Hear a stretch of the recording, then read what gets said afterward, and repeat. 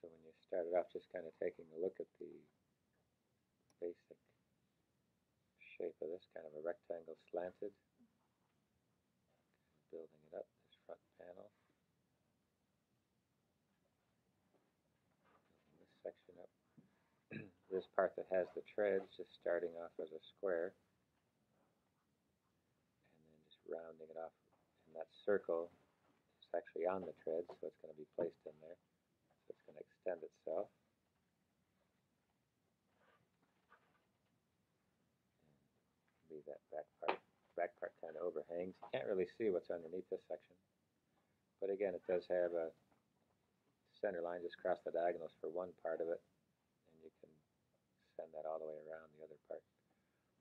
this section of the roof kind of has a curve to it. So if it has a curve in the front, keep the same in the back. And just find the roof line there. Sections that off. And then any of these little windows and doors that you see, just follow the same pattern going back. Tapers with the angle, so you can see all these lines tapering this way. Builds it up pretty good. And then the crane itself, just you're trying to keep this all aligned the same. Tread on the back, of the wheel's missing, but just showing that in there.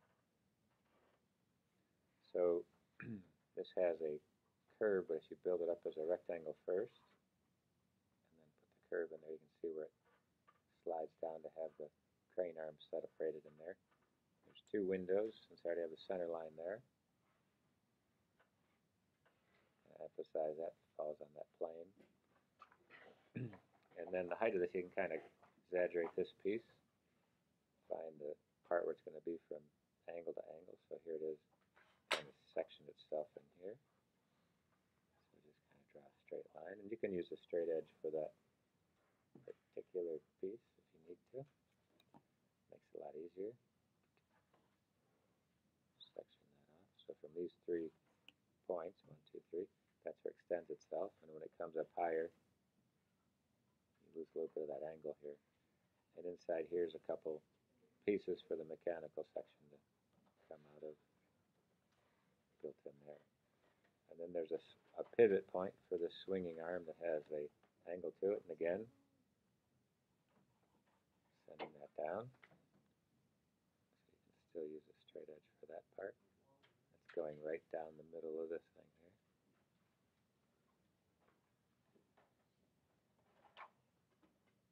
Builds that part up. So now you have this little arm that you can see and has this rectangular box itself.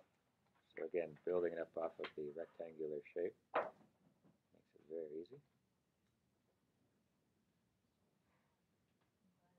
There it is. Extends out a little further on the bottom. Tapers that piece. This part has a few teeth for it off like so. And this just goes back to show the hollow for it.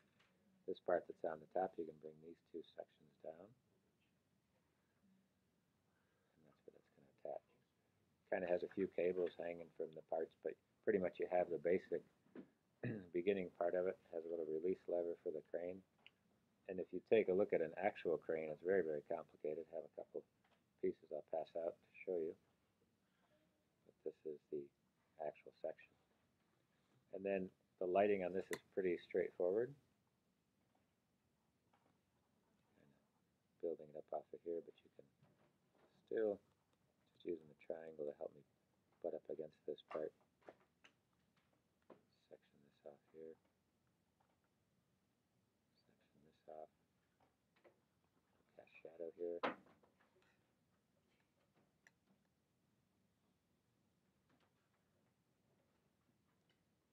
again using the straight edge to help you.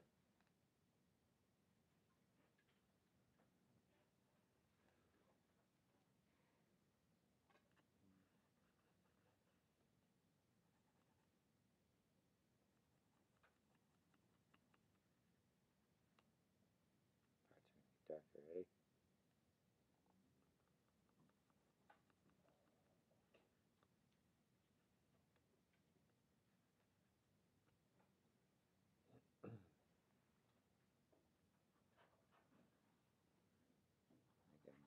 Of use the straight edge help you shade too.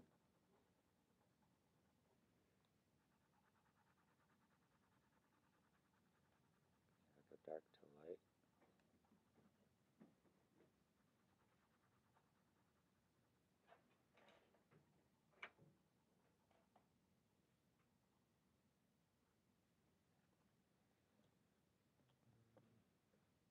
And again, use the straight edge here to find the edge and just push it across for the shading. And this edge.